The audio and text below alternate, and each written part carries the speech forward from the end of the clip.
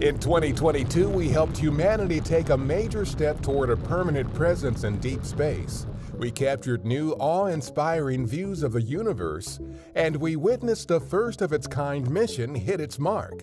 Here's a look back at those and other things we did this year at NASA. And liftoff of Artemis 1. One of the biggest NASA moments of 2022 was the historic launch of our Artemis 1 flight test around the moon. About 26 days later, we celebrated the mission's return to Earth. Splashdown, the latest chapter of NASA's journey to the moon, comes to a close. We also asked companies for proposals to develop and demonstrate astronaut moon landers that can provide moon landing services beyond the Artemis 3 mission.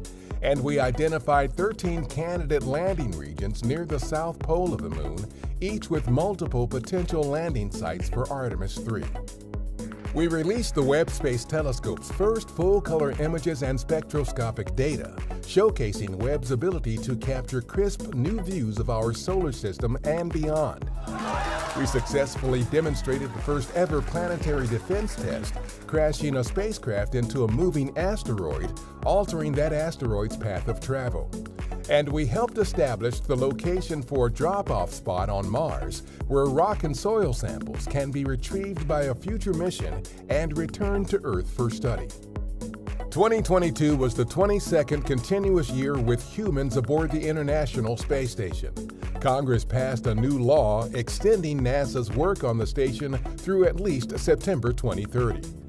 Other human spaceflight activities from 2022 include commercial partner Boeing's uncrewed flight test to and from the station, continued crew rotation flights to the space station by partner SpaceX, NASA astronaut Mark Vande Hei's U.S. record-setting stay in orbit, and the first NASA-enabled private astronaut mission to the space station.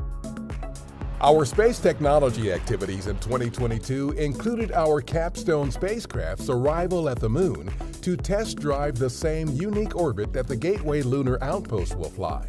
We successfully demonstrated an inflatable heat shield that could help land heavier payloads on worlds with atmospheres, including Mars and Earth and the agency's first two-way laser relay communications system began demonstrations.